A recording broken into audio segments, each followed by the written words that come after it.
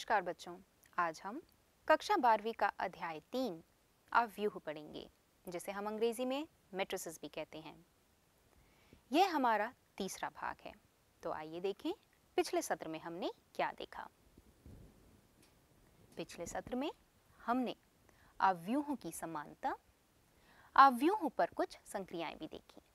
तो हम इस सत्र में क्या पढ़ेंगे? इस सत्र में हम अव्यूहों का गुणन जो कि एक और संक्रिया है। अव्यूहों के गुणन के गुणधर्म और इन पे आधारित प्रश्न भी करेंगे। तो आइए देखें परिभाषा क्या है अव्यूहों के गुणन की, जिसे हम अंग्रेज़ी में मल्टीप्लिकेशन ऑफ़ मैट्रिसेस भी कहते हैं।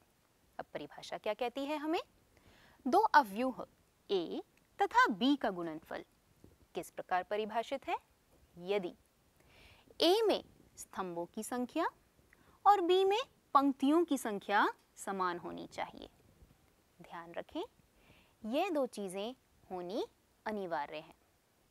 क्यों? अगर ये नहीं होंगी तो हमारा जो गुणनफल है, वह परिभाषित नहीं होगा। आगे देखेंगे, इसके अतिरिक्त गुणनफल आवयु के अवयवों को प्राप्त करने के लिए हम क्या करेंगे? ए की पंक्तियों तथा बी के स्तंभों को लेकर अवयवों के क्रमानुसार हम उन्हें गुणन करेंगे। और तदोपरांत इन सब गुणनफलों का हम योगफल ज्ञात करेंगे। उदाहरण भी लेंगे। दूसरे शब्दों में हम और क्या कह सकते हैं इसे? अव्यूह सी। ए अगर हमारा एक अव्यूह है, बी अव्यूह है तो हमारा जो गुणनफल निकलेगा, वह भी एक अव्यूह ही होगा। तो उसे हमने नाम दिया है सी। तो अव्यूह सी के। अगर हमें आई के वे अवयव निकालना है, यानी सी आई के निकालना है, उसको प्राप्त करने के लिए हमें क्या करना होगा? ए की आयत पंक्ति और बी के केयथ स्तंभ को लेंगे और फिर से अवयवों के क्रमानुसार हम उन्हें गुणन करेंगे और गुणनफलों को हम योग करेंगे। तो आइए एक उदाहरण लें और इसको और बेहतर समझें। उदाहरण में, हमें दो अवयव दिए हुए हैं और हमें इन दोनों अवयवों का गुणनफल ज्ञात करना है, यानी मान ज्ञात करना है। तो सबसे पहले इन्हें हम नामांकित कर देते हैं। ये मेरा अवयव ए और ये है अवयव बी क्या बताया था आपको? ए अवयव के स्तंभों की संख्या और बी अवयव की पंक्तियों की संख्या बराबर होनी चाहिए। देखेंगे। ए अवयव दो बाय दो कोटि का है और बी अवयव दो बाय तीन कोटि का है। स्तंभों की संख्या और पंक्तियों की संख्या बराबर है। इसका मतलब ए बी परिभाषित है, यानी उनका गुणनफल परिभाषित है। अब अगर परिभाषित है तो हमारा जो गुणनफल है, वह भी अव्यय होगा। और वह समानता किस रूप में होगा? देख सकते हैं, इस प्रकार होगा। उसकी कोटि कितनी होगी? उसकी कोटि दो बाय तीन की होगी। याद करने के लिए बड़ा आसान है। दो और दो तो बराबर हैं तो यानी ए के, जो पंक्तियों की संख्या है, और बी के, जो स्तंभों की संख्या है, उससे हमारी गुणनफल के अवयु की कोटि बन जाएगी। दो बाय तीन। अब देखते हैं कि इनके जो अवयव हैं, वो कैसे हम निकालेंगे। तो सबसे पहले आइए देखें पहला अवयव सी वन वन यानी सी एक एक। कैसे देखेंगे? इस चित्र में आप देख सकते हैं। हमें क्या निकालना है? सी एक एक, जहाँ आई का मान एक और जय का मान एक। तो पंक्ति हमारी पहली और जो हमारा स्तंभ है, वह भी पहला। पर हम कैसे मान निकालेंगे इसका?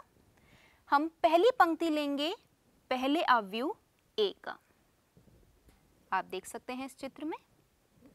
और पहला स्तंभ लेंगे, दूसरे अवयव का, जो कि है बी इस चित्र में आप देख सकते हैं ये। अब हमने क्या पता था, क्या पढ़ा था परिभाषा में?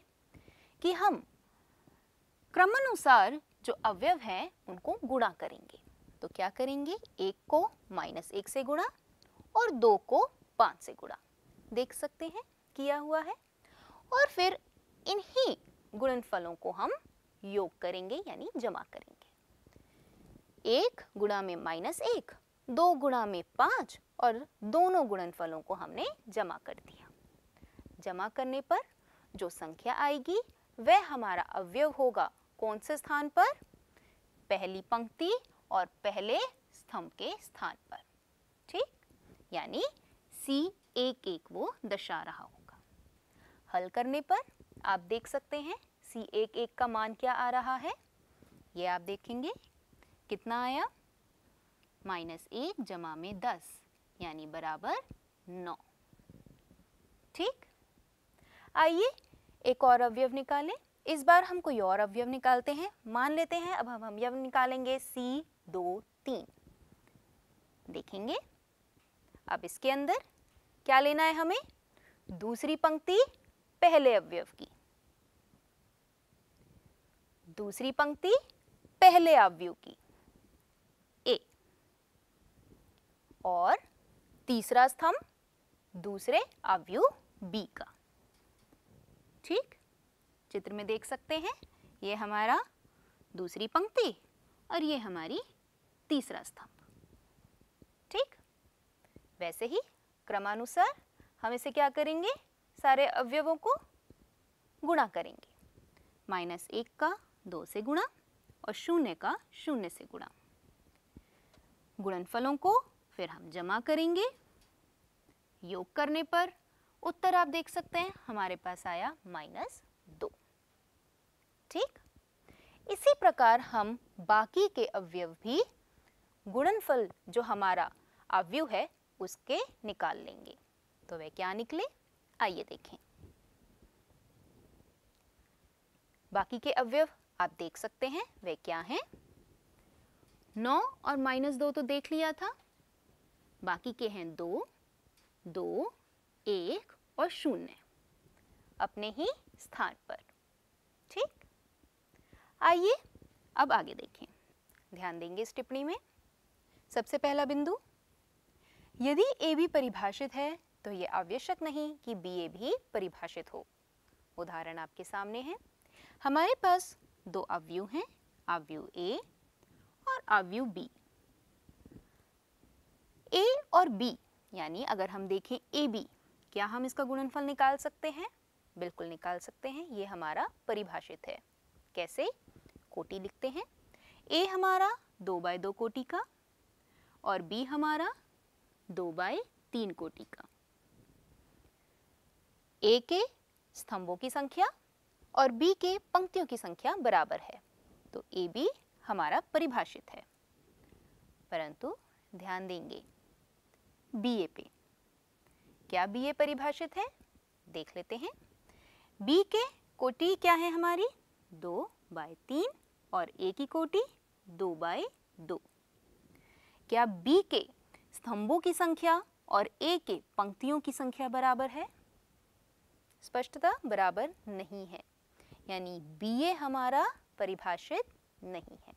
यही हमारा पहला बिंदु बता रहा है। ठीक? आइए अब आगे बढ़े।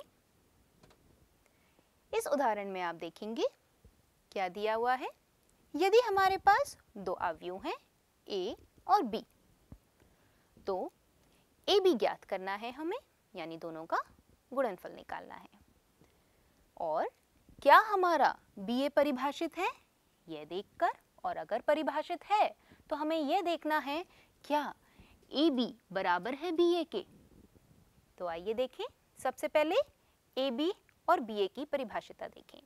क्या ये परिभाषित हैं दोनों? बिल्कुल परिभाषित हैं।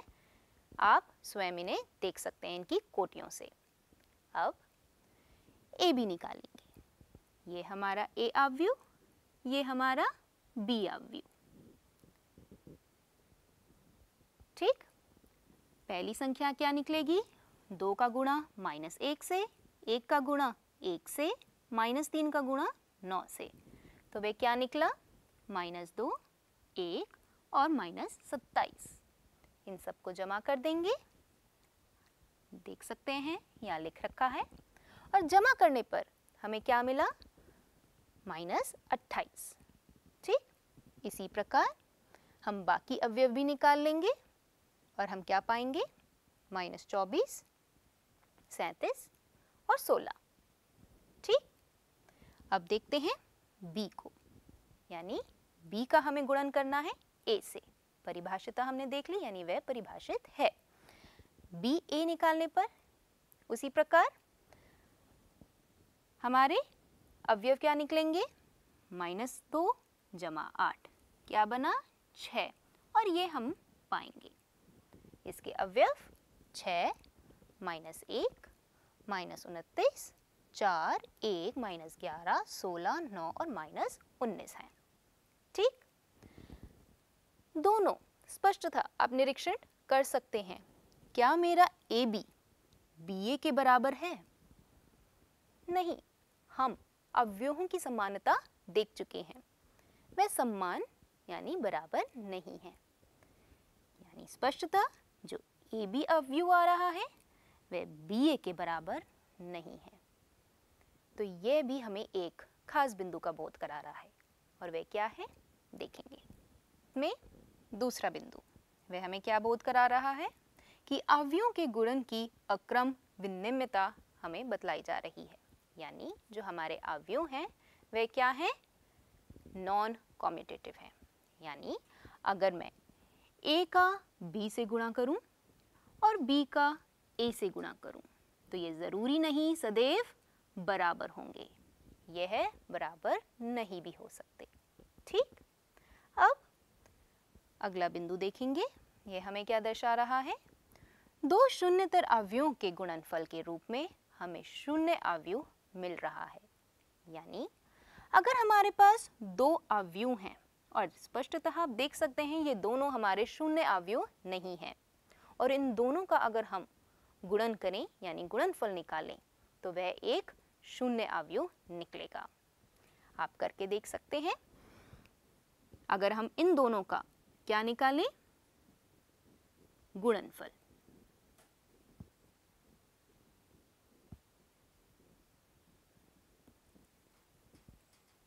माइनस एक का शून्य से गुणा, शून्य जमा, शून्य का शून्य से गुणा, यानी शून्य। इसी प्रकार बाकी अवयव भी आप देख पाएँगे कि आपका शून्य ही मिल रहा है। ठीक? आइए अब आगे बढ़े। आगे हम अवयवों के गुणन के कुछ गुणधर्म करेंगे, जिसे हम अंग्रेज़ी में properties of multiplication of matrices भी कहते हैं। अब सबसे पहला हमारा गुणधर्म, सहचर्य नियम, यानी एसोसिएटिव लॉ अंग्रेज़ी में जिसे हम कहते हैं। अगर हमारे पास किन्हीं तीन अवयव हैं, यानी ए बी और सी तो हमारा सहचार्य नियम क्या बतला रहा है? अगर मैं ए और बी का गुणन करूँ और फिर गुणनफल का सी से गुणन करूँ। तो ये किसके बराबर होगा? यदि पहले मैं बी और सी का गुणन निकालूं, यानी उन दोनों का गुणनफल, और a का इन दोनों के गुणनफल के साथ गुणन करूँ तो वह बराबर होगा। यानी इसमें जो कोष्टक होते हैं, उनकी क्या महत्ता नहीं होती। अब अगला हमारा गुणधर्म। वितरण नियम, जिसे हम डिस्ट्रीब्यूटिव लॉ भी कहते हैं। वह क्या बता रहा है? हमारे पास तीन अवयव हैं ए बी और सी यानी पहला क्या है? बी और सी को अगर मैं जमा करती हैं पहले और फिर इस योगफल का ए को हम गुणा कर रहे हैं इस योगफल के साथ तो वह किसके बराबर होगा? ए का बी के साथ गुणन जमा a का c के साथ गुणन। ठीक? वितरण कर दिया हमने। इसी प्रकार दूसरा भी हमारा गुणधर्म इसी नियम के अंतर्गत।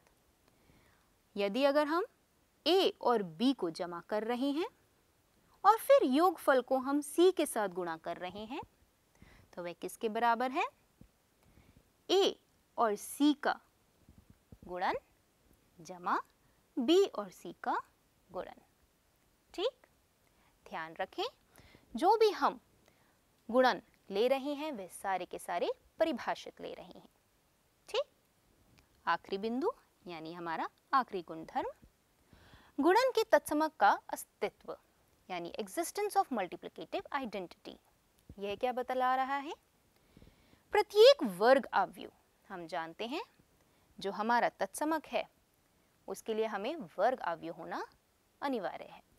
तो प्रत्येक वर्ग अवयव ए के लिए समान कोटि के एक तत्समक अवयव का अस्तित्व इस प्रकार होता है कि यदि आई ए बराबर है ए आई के और हम जानते हैं आई यानी ये आई ऐसा अवयव है जिसे हम गुणा करने पर ए के साथ दोनों पक्षों से हमें क्या मिल रहा है? ए अवयव ही मिल रहा है। ये सारे गुणधर्म आप सत्यापित कर सकते हैं। उदाहरण लेके। यह कार्य मैं आप पे छोड़ती हूँ। आइए अब आगे देखें। कुछ उदाहरण? गौर करेंगे। इस उदाहरण में हमें दो अवयु दिए हुए हैं अवयु ए और अवयु बी अवयु ए के अवयव हैं एक माइनस एक, दो और माइनस एक, और बी के अवयव हैं ए एक बी और माइनस एक। हमें अवयव ए और बी के रूप में एक समीकरण भी दिया हुआ है। वह क्या है? ए जमा बी पूर्ण का वर्ग बराबर है ए का वर्ग जमा बी के वर्ग के। हमें क्या ज्ञात करना है? हमें ए और बी का मान ज्ञात करना है। सबसे पहले हमें ध्यान देंगे क्या दिया हुआ है? ए और बी अवयव हमारे पास जो समीकरण है उससे हम आगे बढ़ेंगे। ये हमारे पास समीकरण दिया हुआ है, यानी ए जमा बी का पूर्ण का वर्ग बराबर है ए का वर्ग जमा बी के वर्ग के। इस उल्टे हाथ पे ध्यान देंगे। ए जमा बी के वर्ग को हम इस रूप में व्यक्त कर सकते हैं, यानी ए जमा बी और ए जमा बी क्योंकि घात दो है, ठीक? ए की घात दो जमा बी की घात दो। ऐसे ही लिख लिया हमने, सीधा हाथ। वह आगे हमें क्या बतला रहा है? ये दो हमारे क्या बन गए? अवयव योगफल भी हमारा आपको पता ही है, एक नया अवयव देता है। तो अभी नहीं हम क्या करेंगे? गुणा करते हैं। ए का ए से, ए का बी से, बी का ए से, और फिर बी का बी से। ठीक? तो हम क्या पा रहे हैं? ए का वर्ग। जमा बी का वर्ग। जमा ए बी जमा बी ए बराबर में ए का वर्ग, जमा बी का वर्ग। हल करने पर आप पाएँगे ये, क्योंकि यहाँ ए का वर्ग और बी का वर्ग है तो वह आगे जाके हमारा घट जाएगा। ठीक? तो ये क्या बना? ए बी जमा बी ए बराबर में शून्य अवयव ठीक? इसी को अब हम इस्तेमाल करेंगे और अपने ए और बी का मान निकालेंगे। आगे देखेंगे। ध्यान देंगे, हमें क्या दिया हुआ है? ए बी जमा बी ए बराबर है किसके? शून्य अवयव के। तो यानी हमें क्या निकालना होगा? ए बी और बी ए यानी ए का गुणन बी के साथ और बी का गुणन ए के साथ। ठीक जब आप गुणा करेंगे तो आप देख सकते हैं, आप ये पाएँगे। और ए बी के अवयव हैं। ए घटा बी, दो दो ए घटा बी और तीन। इसी प्रकार, बी ए के जो अवयव हैं, वे क्या पाएँगे आप? ए जमा दो, घटा ए घटा एक, बी घटा दो और घटा बी जमा में एक। हमें क्या निकालना है? दोनों का योग। तो योग निकालेंगे, बराबर शून्य अवयव। ध्यान देंगे, जो शून्य अवयव है, वह हमारा दो बाय दो कोटि का ही होगा। बराबर का है हमारा चिन्ह, ये हमारा ए बी अवयव, कितनी कोटि का? दो बाय दो। बी ए अवयव भी हमारा दो बाय दो कोटि का तो ये बराबर जो शून्य अवयव है, वह भी अवयव दो बाय दो कोटि का ही होगा। अब योग निकालेंगे। योग निकालने के लिए जो संगत अवयव हैं, उन्हें हम जमा करेंगे। ए घटा बी जमा ए जमा दो। ए कितनी बार आया? दो बारी। दो ए घटा बी जमा में दो। ठीक? इसी प्रकार दो में अगर हम जमा करते हैं, क्या? माइनस ए घटा में एक। तो हम पाएँगे क्या? दो में से एक गए बच्चे एक और माइनस ए। तो ये अवयव हमें मिल गया। इसी प्रकार हम जो अगले अवयव हैं, वह निकाल सकते हैं। वे क्या मिले हमें? दो ए घटा में दो, चार घटा में बी। बराबर में हमें दिया ही है। ये है शून्य अवयव। अब ये अवयव और ये अवयव दोनों बराबर हैं। बराबर हैं तो दोनों के जो संगत अवयव होंगे, वह भी बराबर होंगे। और वे बराबर हैं तो हमें कुछ समीकरण मिलेंगे। वे क्या हैं? क्या लिख सकते हैं? देखेंगे, आपको स्पष्टता यहाँ दिया हुआ है। दो ए घटा बी जमा दो, किसके बराबर? शून्य के। इसी प्रकार, एक घटा ए बराबर शून्य। इससे हम ए का मान निकाल सकते हैं। इस समीकरण से ए का मान कितना आया? एक। ठीक? इसी प्रकार आप देख सकते हैं, इस वाले अवयव को जब हम बराबर रखेंगे शून्य के तो हमें b का मान मिलेगा। और वह कितना मिल रहा है? चार। ठीक? तो हमें क्या मिला? A का और b का, दोनों का मान मिला। A का मान एक और b का मान चार। और यह सभी हमारे जो चारों समीकरण मिले हैं वह पूर्ण क्या कर रहे हैं? समीकरण को पूरा भी करते हैं। ठीक? आइए अब एक और प्रश्न देखें। बेचे गए लेखों की संख्या इस छवि में आप देख सकते हैं। स्कूल ए ने कितने पंखे निर्मित किए? 40 स्कूल बी ने कितने पंखे निर्मित किए? 25 और स्कूल सी ने कितने पंखे निर्मित किए? 35 इसी प्रकार, चटाइयाँ स्कूल ए ने 50 निर्मित की, स्कूल बी ने 40 और स्कूल सी ने 50 प्लेट स्कूल ए ने 20 स्कूल बी ने 30 और स्कूल सी ने 40 अब हमें क्या ज्ञात करना है?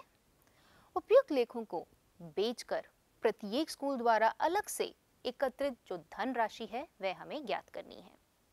साथ ही जो कुल धन राशि हमें प्राप्त हुई है, ये सारी चीज़ें बेचकर वह भी हमें ज्ञात करनी है। तो आइए इसका उत्तर देखें। ध्यान देंगे कि जैसे कि हमें प्रत्येक विद्यालय द्वारा एकत्रित धनराशि प्राप्त करनी है तो हम इस तालिका को इस रूप में व्यक्त कर सकते हैं। ए बी और सी ये क्या है? स्कूलों के नाम। हम। ये सारी चीज़ें जो उन्होंने निर्मित की हैं वह इस अव्यू के रूप में लिख सकते हैं। आइए इस अव्यू को पहले नामांकित करें। ये अव्यू ले लेते हैं के और ये अवयव दर्शा रहा है एल ठीक है? देखेंगे। चालीस हमारा क्या है? पंखों की संख्या, जो कि स्कूल ए ने निर्मित करी। पचास हमारा क्या है? चटाइयों की संख्या जो स्कूल ए ने निर्मित करी और बीस प्लेटों की संख्या जो स्कूल ए ने निर्मित करी। ठीक? इसी प्रकार जो अलग अलग चीज़ें निर्मित करी हैं, स्कूल बी ने और सी ने, वह भी हम लिख लिया है। अब ध्यान देंगे, जो हमारा आव्यू एल है, वह क्या दर्शा रहा है? एक एक क्या चीज़ों की धनराशि, यानी मूल्य। एक हमारा, जो पंखा है, वे कितने रुपए का बेचा है? पच्चीस। एक चटाई, सौ रुपये और एक प्लेट, पचास रुपये ठीक? तो हम क्या करेंगे? आइए देखें। इस रूप में हमने व्यक्त किया था अपनी तालिका को। ये दर्शा रहा है। ध्यान देंगे, ये हमारा अवयव के था और ये हमारा एल हमने किस रूप में इसे व्यक्त किया है? गुणा के रूप में तो यानी के गुणा एल अगर हम करें तो हमें उपयुक्त धनराशि मिलेगी। कैसे? देखेंगे। अगर हम इस आवयु के को एल से गुणा करते हैं, यानी आवयु एल से गुणा करते हैं तो हम क्या पाएँगे? 40 को 25 गुणा पे, हज़ार। पचास का सौ से गुणा पर, पाँच हज़ार। बीस का पचास से गुणा पर, हज़ार। और ये क्या है? सौ है हमारी कुल राशि। स्कूल ए ने जो प्राप्त करी, किसको बेचकर? पंखों को बेचकर। पाँच हज़ार धनराशि प्राप्त करी, चटाइयों को बेचकर और हज़ार हमारी धनराशि प्राप्त हुई, प्लेटों को बेचकर। तो कुल राशि स्कूल ए ने कितनी प्राप्त करी? सात हज़ार। जमा कर दिया? ठीक। ऐसे ही स्कूल बी द्वारा धनराशि प्राप्त हुई हमें वह क्या है? छः हज़ार एक सौ पच्चीस। और सी स्कूल ने कितनी धनराशि प्राप्त करी? सात हज़ार आठ सौ ठीक? तो हमें अलग अलग स्कूलों से जितनी धनराशि हमने एकत्रित की वह हमें मिल गई है। स्कूलों ए बी और सी द्वारा एकत्रित फंड जो है, क्रमशः आप देख सकते हैं हमने लिखा हुआ है। वह कितना है? सात हज़ार छः हज़ार एक सौ पच्चीस और सात हज़ार आठ सौ हमें और भी क्या चीज़ निकालनी थी? कुल राशि, यानी जो हमें एकत्रित हुई है तीनों स्कूलों से। तो वे क्या करेंगे अब हम? तीनों धनराशि को जमा कर देंगे और जमा करने पर आप पाएँगे हमें क्या मिला? इक्कीस हज़ार। तो यानी कुल राशि हमें कितनी प्राप्त हुई? इक्कीस हज़ार। तो बच्चों, आज आपने इस सत्र में क्या क्या पढ़ा? आपने अव्यूहों के गुणन, उसके गुणधर्म और उस पर आधारित प्रश्न भी देखे। तो आशा करते हैं इस सत्र में आपको आनंद आया होगा, समझ आया होगा। धन्यवाद।